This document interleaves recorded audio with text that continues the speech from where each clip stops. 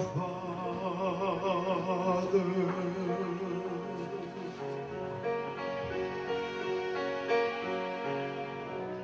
which art in heaven.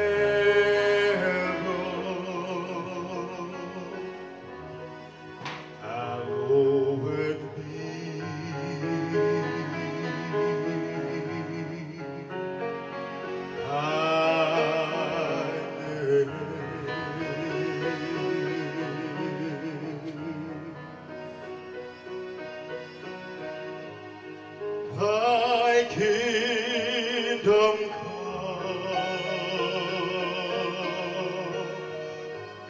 Thy will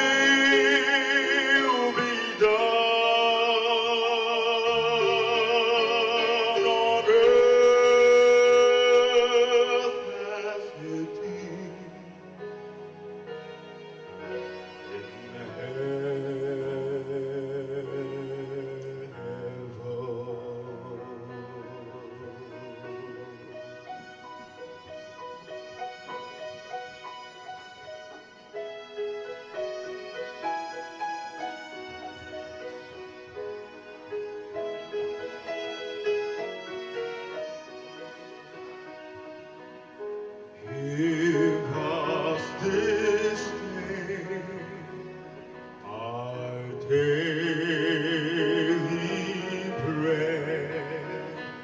and forgive us our debts,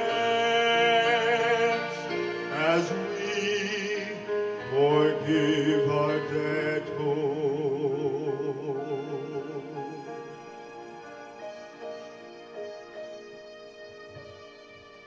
And lead us not into temptation, but deliver us from evil.